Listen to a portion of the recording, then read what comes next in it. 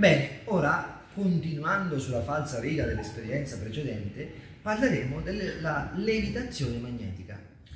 Qui, come potete vedere, c'è un treno. Questo treno si chiama maglev. Ora vi farò vedere un filmato, però partendo da un esperimento registrato qui in classe insieme ad uno dei nostri studenti, il fenomeno della levitazione magnetica.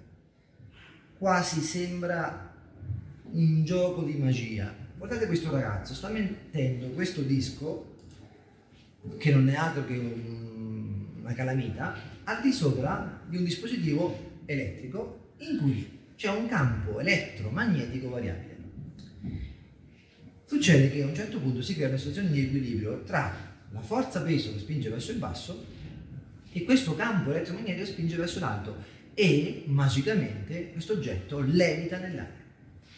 Se guardate questa piccola diapositiva qui a sinistra, vedete che se anche appoggio un oggetto di non grosse dimensioni al di sopra, quel magnetino riesce a rimanere sospeso. E ora questo ragazzo farà un po' di giochi, cioè mette al di sopra questo piccolo pupazzetto e vedete che l'oggetto rimane ancora sospeso.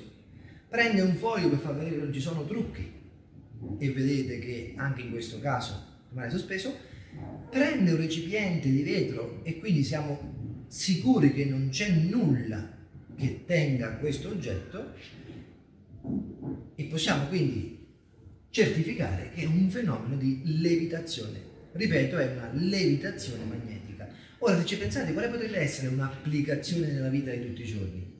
L'applicazione è proprio data dai treni ad alta velocità. Ad esempio, qui abbiamo il maglev, un treno in Giappone che va a una velocità altissima.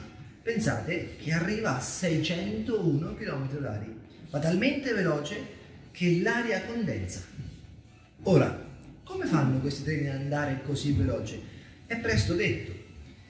Tramite il fenomeno della levitazione magnetica, il treno è sospeso, quindi non c'è più l'attrito. Quindi se è sospeso basta poco per metterlo in moto.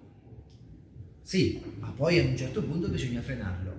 E ovviamente a 600 km h non possiamo utilizzare freni a disco o a tamburo, perché dopo due o tre frenate bisognerebbe sostituirli. Quindi come facciamo a farlo frenare? Utilizzando proprio i freni magnetici dell'esperienza precedente. Se pensate quindi a quante applicazioni pratiche ha il fenomeno dell'induzione elettromagnetica, potete pensare quando fu importante il contributo di Michael Faraday. Grazie.